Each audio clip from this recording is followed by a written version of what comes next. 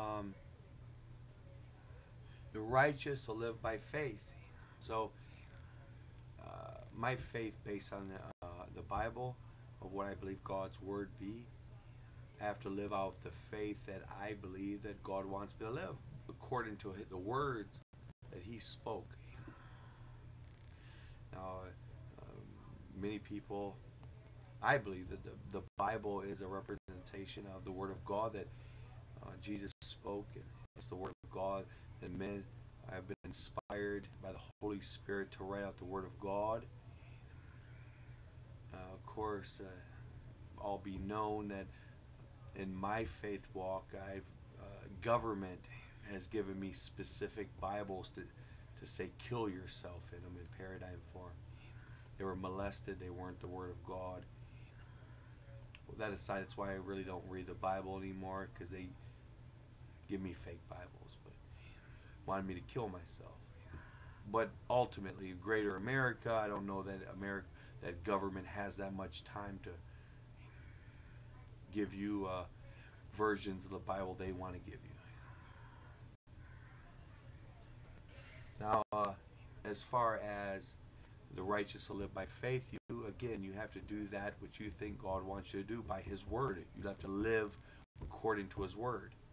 Maybe not to be a pharisaical letter of the law person, but I think that Jesus uh, gave a lot of paradigms in parable forms, so that you would not be a letter of the law kind of person, but you have a, a number of paradigms that you would get from one story and try to conduct your life that way. Because maybe not uh, one glove fits everyone. Living by faith, there are different varieties of faith. What I usually fall back on is like this. I could someone could read the truth will set you free. Some people will say, well, that's Jesus. He's the truth. He's the word. Is that not right? I can't argue that. Yeah, Jesus is the truth. And in context, someone can say, yeah, well, Jesus will set you free. Then they think that, you know, in their faith that Jesus will set them free. I have been, uh, my faith, telling the truth. Telling truth will set me free. If I just, I'm always honest. Even with my heavy crosses, if I tell the truth, I'll be someday set free. Now, uh, am I going to tell someone that, no, Jesus isn't the truth? He doesn't set people free. Well, I'd be wrong. In my faith, I do believe that telling truth will set you free. And maybe people will say I'm wrong. Um,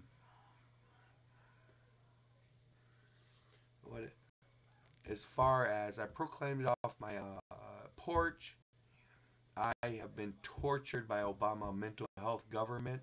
You know, Obamacare took over uh, medical institutions. Uh, Obamacare, everything's under Obamacare. Took over mental health, so he can use it, weaponize it to go after people. Uh, their data don't agree with Democrat politics, his politics. Enemies of the state, he can use, of course, big tech to show them as a loose cannon with their satanic D-state practices and big tech toys. They can drive them fucking batshit crazy online. Acting like they're friends, fake profiles, gossiping, lying, finding what pisses them off, using it uh, very strategically. Piss them off. Make them look like a loose cannon. We need to take away their Second Amendment rights they're conservative. That's how it was set up. And they're in collusion with all of uh, jihadists on big tech, the big tech CEOs, where Christianity is not represented at all on internet, where they can use artificial intelligence and algorithms to ultimately kill you. I get countless uh, suggestions. We'll hook you up a little boy. Well, then hook me up. I'm tired of it. Great. After you're in prison for decades, you're, yeah, it'd be enrichment, a little boy to come into my cage.